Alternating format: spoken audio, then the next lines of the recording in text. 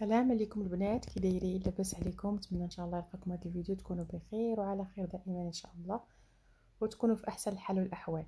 اليوم كيف كتشوفوا معنا غادي نقدم لكم واحد البريوش تركي معمر كيجي شي حاجة أكثر من رائعة تبارك الله نتوما كتشوفوا بعينيكم.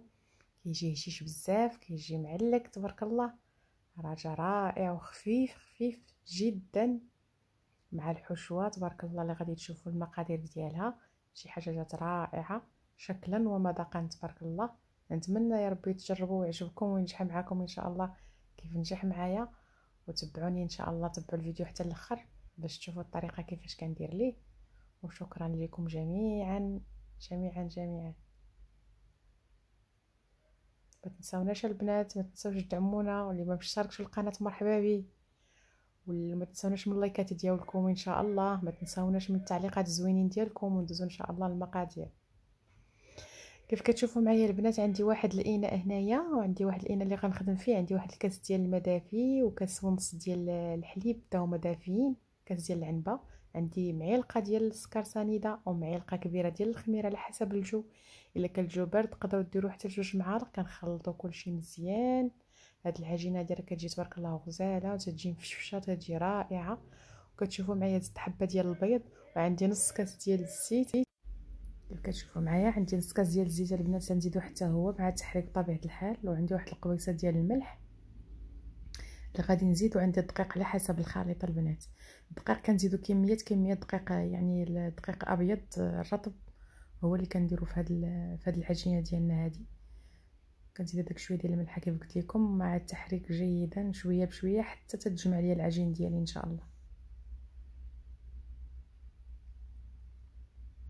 العجين ديالنا يبعد مدلك حتى واحد شوية ماشي بزاف غير شي شوية ما كتحتاج دليك بزاف.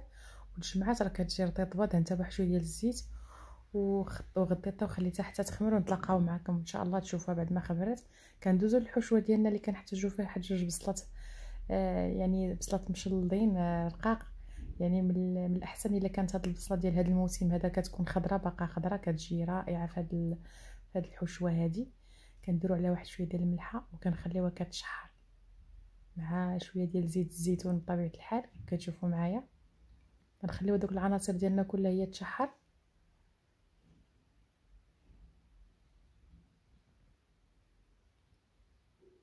غنزيد عليهم واحد الرويس ديال الثوم كيف كتشوفوا معايا حكيتو.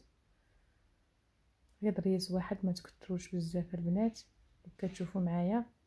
كنبقاو مستمرين بالتحريك حتى دبل لينا ديك البصلة كنزيد عليها واحد ربع معلقة ديال الابزار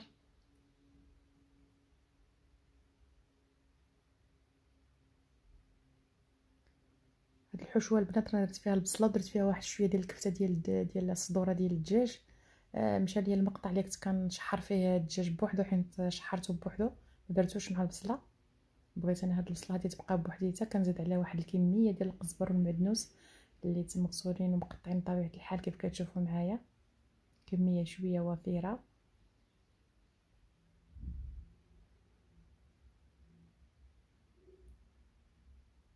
مجرد باش كندير هذا القزبر المعدنوس غير واحد شوية صافي كنطفي عليه باش يبقى داك اللون ديالو خضر بغيتش اللون ديالو يتبدل. وندوزو العجين ديالنا بعد ما خمرات. كيف كتشوفوا راه كتجي على هذا الشكل هذا. غادي نحطها في سطح العمل. يعني راه كتخرج واحد الكمية اللي هي كثيره المهم أنا درت جوج وصفات في وصفة وحدة. آه يعني هاد القطعة الأولى أنا صيفط معكم هاد البريوش التركي والجزء الآخر غادي نوريكم إن شاء الله فيديو الآخر شنو غادي ندير به كيف كتشوفوا معايا طلقت العجين ديالي بعد ما سرحتها بالمدلك كندير فيها هذوك الخطوط بحال هذا الشكل هكا كيف كتشوفوا معايا في لا فيديو. صافي كنبدا ندير واحد شوية ديال الصلصة ديال الطماطم. اللي كان اللي يحتاج اللي غنحتاجو شوية ديال الزعتر بطبيعه الحال. وعندي ديك البصلة اللي شحرت معاكم كيف كتشوفوا معايا. وعندي هنايا واحد شوية ديال ديال الكفتة ديال اللبن شحرتها بشوية ديال الزيت مع الثومه بطبيعة الحال. واحد شوية ديال الملحة والإبزار وشوية ديال القزبر حبوب مطحون. فقط هادشي اللي درت ليها وزيت الزيتون. المهم كيف كتشوفوا معايا أنا كندير واحد شوية ديال ديال الصلصة في البريوش ديالي بهذه الطريقة كيف كيف موضح لكم في الفيديو.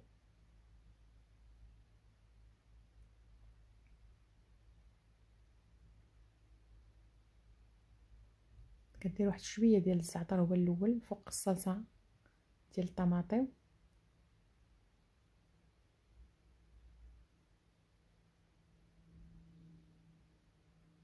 كنبدا كنحط هذاك الدجاج ديالي كيف كتشوفوا معايا. الكفتة عفوا ديال الدجاج. وهو ما, ما نسيت ما قلت لكمش راني دايرة فيها حتى داير فيها الحامض. عصير ديال الحامض. غير باش يهرس هذاك الرائحه ديال الدجاج وتجي داك الكفتة ديالنا منسمه بريحة الحامض. صافي كنستمر بحال هذا الشكل هكا كيف كتشوفوا معايا. كندور فوق هذيك الصلصة ديال الطماطم. لأن هذا البريوش هذا كيجي على شكل دائري كيف شفتو في الأول ديال الفيديو. ملي كنكمل كنزيد هذيك البصلة ديالي مع القزبر والمعدنوس اللي شحرت معكم كنزيدها فوق من هذاك الكفتة ديال الدجاج. كيجي هذا البريوش رائع البنات رجع لذيذ بزاف بزاف نتمنى إن شاء الله تجربوه ويعجبكم إن شاء الله. كيف كتشوفوا معايا كنبقى مستمرة حتى تنكمل كاع الكمية اللي عندي.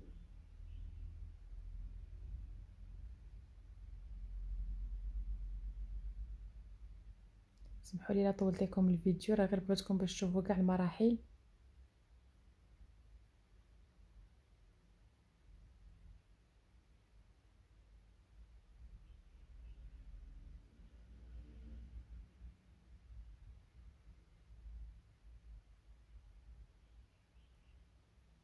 بعد ما كملت الكمية ديالي غادي نزيد الفرماج البنات حتى هو والزعتر. الزعتر كيعطي واحد النسمة زوينة بزاف لهاد البريوش هذا البنات. وهذا هو عنده فوائد صحية كثيره فلا عندكم دائما تبقاو تدخلوه في الطيب راه مزيان. عندي الفرماج هنايا البنات كيف شفتوا معايا محكوك كن كندير الفرماج. فرماج عندي مخلط تقريبا شوية فرماج حمر عادي والفرماج ديال الموزاريلا. كنبقى كنعمر فوق من من هذاك البصلة ديالنا حتى تنعمر كلشي كيف كتشوفوا معايا. كنبدا كنطوي هذوك الجوانب ديالها وكنضغط بصباعي هكا باش العجينه تدخل في بعضياتها وما تحلش ليا ملي تكون كطيب.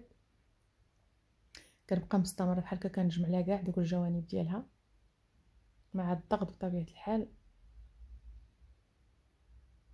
يعني كتبغي غير شوية ديال الخاطره البنات ضروري.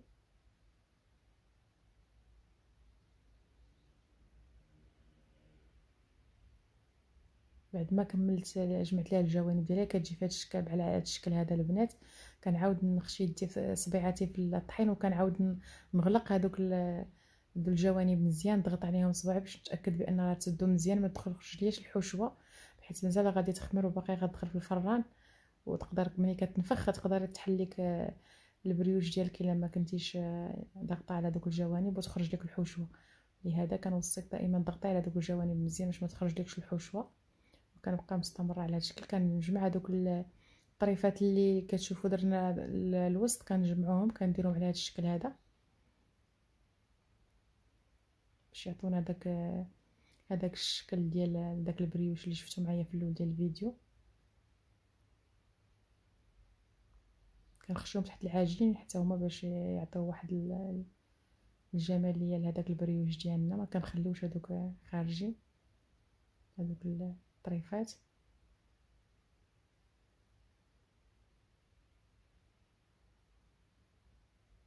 كتشوفوا معايا بعد ما كملناها. كتجي على هذا الشكل هذا. بطبيعه الحال غادي ندهنوا ليها الوجه ديالها بواحد الصفر ديال البيضة مع قطرات ديال ديال الخل. كيف كتشوفوا معايا. غندير ليها الوجه ديالها مزيان.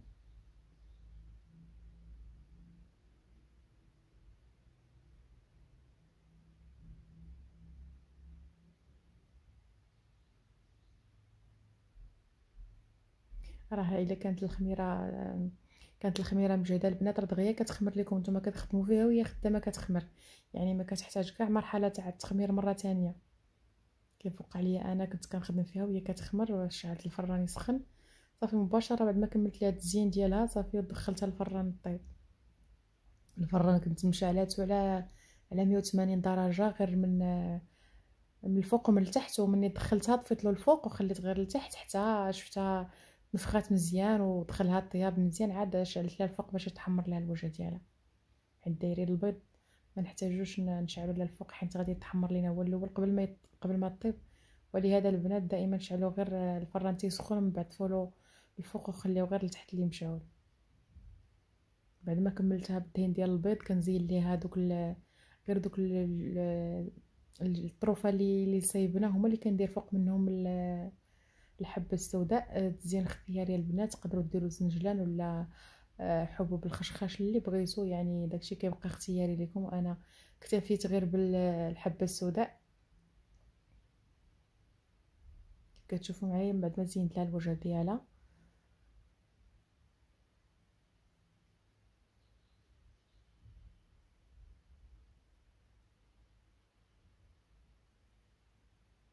كتشوفوا راه الحجم ديالها ضاعف وأنا خدامه فيها وهي كتخمر. فلهذا دخلتها مباشرة بعد ما كملت لها التزيين دخلتها طيب كتجي شي حاجة رائعة البنات نتمنى إن شاء الله تعجبكم. وما تنساوناش البنات بالتعليقات ديالكم الزوينين واللايكات. وما تنساوش اللي ما معنا في القناة يشارك مرحبا به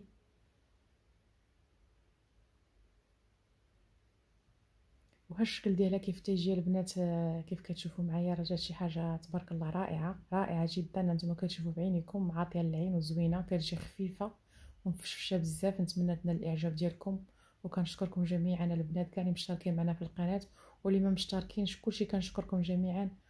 ونتمنى إن شاء الله نتلاقاو في الفيديو جديد إن شاء الله وفرجة ممتعة.